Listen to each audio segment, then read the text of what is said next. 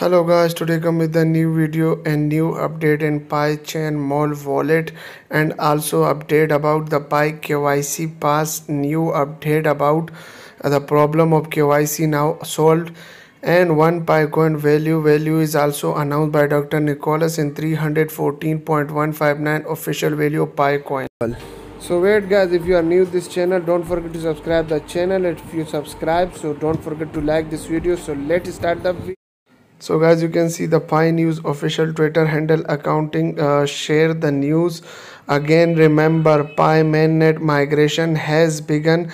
Pioneer who passed kyc can complete all item on the mainnet checklist from now. So now the new update is also coming of the pi mainnet migration is begun and the mainnet officially will be done it. But if you haven't complete your kyc so kindly do for today. And now kyc is updated and the more option is added.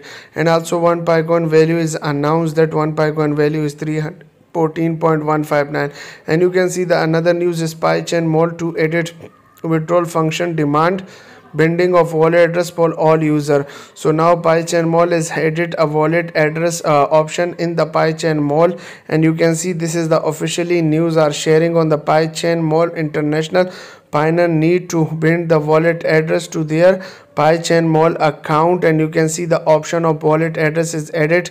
So whether you are seller or buyer, please note that is the wallet address. Do not face the Mnemonic and Passphrase. The feature will pave the way for the withdrawal function in next month. So you can also take the withdraw from the PiChain Mall. They are already listed the PiChain Mall uh, officially announced. So guys, this is the new update and this is the value and uh, this is the news of PiChain Mall. So if you like this video, don't forget to subscribe the channel.